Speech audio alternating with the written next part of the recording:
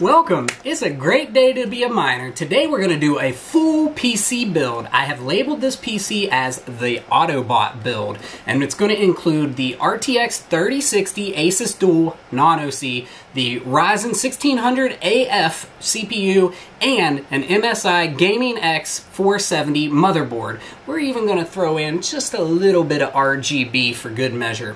But without further ado, let's spin that intro.